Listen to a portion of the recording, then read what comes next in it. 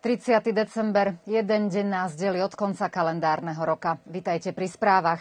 Minister financií Siniša Mali dnes vyhlásil, že verejné financie sú úplne stabilné a že je dosť peňazí ako pre avizovanú pomoc dôchodcom, tak aj pre zdravotníkov a mladých ľudí a podľa jeho slov je to výsledkom zodpovednej a serióznej ekonomickej politiky.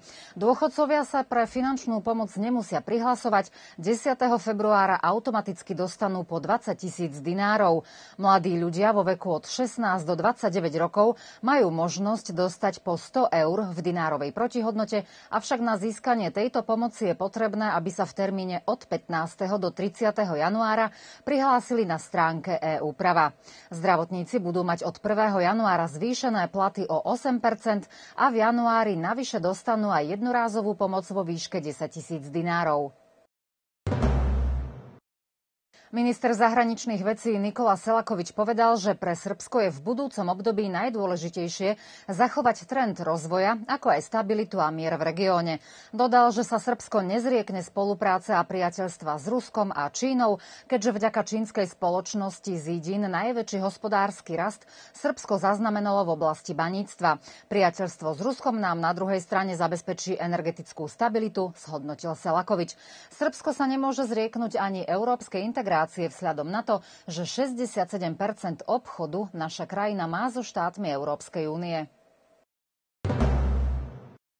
Na iniciatívu lokálnej samozprávy dnes v budove obce v Starej Pazove predseda George Radinovič osobne odovzdal ocenenia najvýznamnejším pracovníkom v službe policajnej stanice Stará Pazova z toho dôvodu, že v Staropazovskej obci je zachovaný priaznivý stav všeobecnej bezpečnosti občanov. K prítomným prehovoril aj náčelník policajnej stanice Stará Pazova Zoran Lazič, ktorý uviedol, že v tomto roku sa výrazne znížil počet trestných činov v porovnaní s minulými rokmi a že je spokojný so spoluprácou s občanmi obcov. Predseda George Radinovič povedal, že si cení prácu všetkých policajtov a že im je vďačný za veľmi dobrú situáciu v Starej Pazove. Zároveň dodal, že obec im každoročne kupuje potrebné vybavenie, aby mohli pracovať ešte kvalitnejšie. Ocenenia získali aj pracovníčky z policajnej správy, lebo aj oni sa zaslúžili o to, že tento rok po prvýkrát neboli pri okienkach na výdaj osobných preukazov tlačenice. Obec Stará Pazova dostala finančné prostriedky cez vypísanú verejnú výzvu Ministerstva baníctva a energetiky Srbska na realizáciu opatrení energetickej sanácie v domácnostiach a bytových stavbách na území obce Stará Pazova. Ministerstvo vyčlenilo 10 miliónov dinárov a obec dodala ďalších 10 miliónov a podpísaných bolo 213 zmluv s občanmi. Na bytovke na Slovenskom námestí číslo 1 v Starej Pazove prebieha oprava strechy. Kvôli poškodeniam strechy často dochádzalo k premokaniu ochladeniu, ale aj k strate tepelnej energie. Preto obyvatelia tejto bytovky reagovali na výzvu získať nenávratné prostriedky, pričom im bolo schválených 2 milióny 400 tisíc dinárov. Cieľom tohto projektu je zvýšiť energetickú efektivitu, ale aj racionálne využívať energiu, platiť menej za účty a chrániť životné prostredie. Pred nami sú novoročné sviatky. 1. január a 7. január sú dni pracovného pokoja. Všeobecná medicína a všetky ambulancie, vrátane COVID ambulancie, v piatok 31. decembra a vo štvrtok 6. januára budú pracovať v skrátenom čase od 7. do 17. hodiny. V spomenutých dňoch očkovacie centrum bude otvorené od 8. do 12. V dňoch 1., 3. a 7. januára budú mať službu oddelenia všeobecnej medicíny v Starej Pazove a Novej Pazove a v Starých Bánovciach, a to v čase od 8. do 14. hodiny. Pediatria bude v týchto dňoch otvorená len v Starej Pazove. V nedeľu 2. januára bude mať službu Všeobecná medicína v Starej a Novej Pázove a v Starých Bánovciach od 8. do 12. a pediatria bude v nedeľu zatvorená. COVID ambulancia v dňoch 1., 2., 3. a 7. januára bude otvorená od 7. do 13. hodiny. Služba rýchlej pomoci pracuje non-stop 24 hodín denne.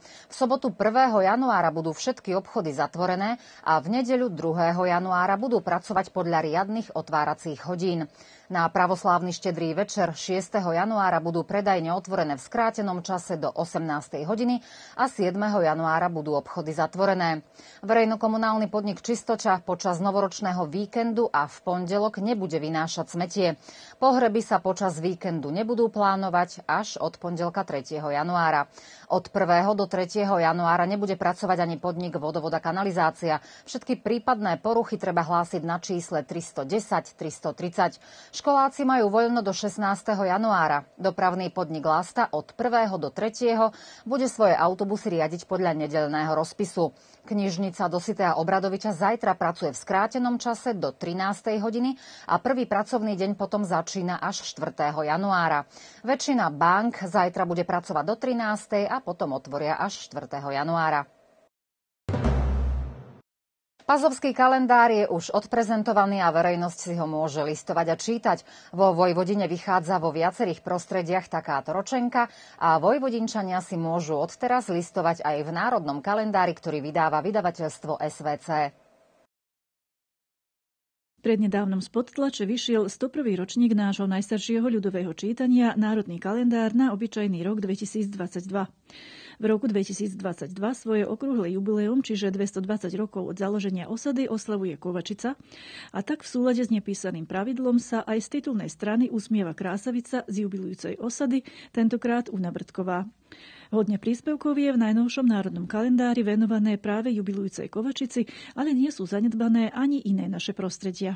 Ako aj 100 rokov predtým, aj 101. ročník pokračuje v započatom teda je to štandardné zostavenie kalendára po kalendáriovej časti, ktorá je tohto roku, teda pre budúci rok, ilustrovaná malbami insitného maliara Pavla Hajku z Kovačice.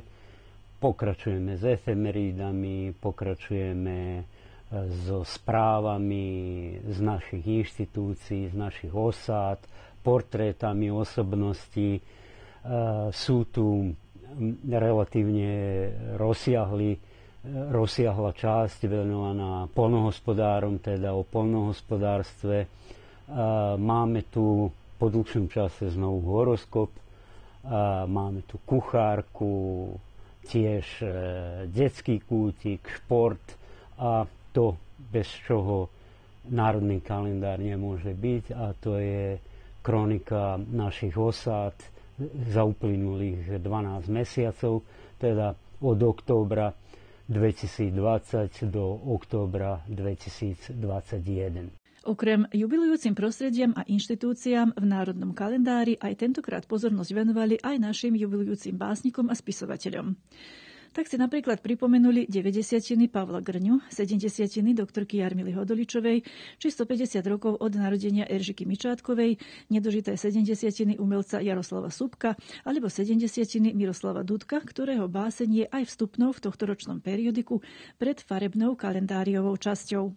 Národný kalendár na obyčajný rok 2022 si možno zadovážiť u kolportérov za 500 dinárov. Tí veriaci, ktorí sa chcú poďakovať za starý rok, služby Božie v Evanielickom kostole v Starej Pazove budú na Silvestra, teda zajtra o 18. hodine. Tí, ktorí chcú nový rok prežiť aj duchovne, novoročné služby Božie sú v sobotu 1. januára o 10. hodine. Ako aj po minulé roky, basketbalový zväz Vojvodiny odmenil najlepšie kluby a jednotlivcov za výsledky počas minulých 12 mesiacov. Najlepšia mužská skupina bola Vojvodina a v ženskej konkurencii si toto ocenenie prevzali basketbalistky Vojvodiny 021. Maja Škoričová, členka olympijskej reprezentácie Srbska, bola vyhlásená za najlepšiu hráčku. Ocenenie si prevzal aj tréner reprezentácie Srbska v basketbale 3 na 3 Marko Ždera a hráč Dejan Majstorovič, ktorý bol úspešný na Olympiáde, odkiaľ si jeho mužstvo odnieslo bronz. Ocenenie za prínos basketbalu v pokrajine získal aj ženský basketbalový klub Stará Pazova.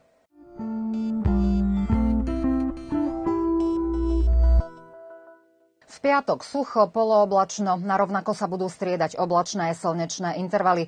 Hodnoty na teplomery od 3 stupňov vyskočia až na 11. Slabý vietor pocítime prevažne zo západu. A nahliadneme aj do kalendára, kto dnes vo Vojvodine oslavuje. Vo štvrtok je to Dávid, v piatok Silvester. Páni, všetko najlepšie. Dnešné správy končia a ohlásime sa v rovnakom čase aj zajtra. Majte sa pekne.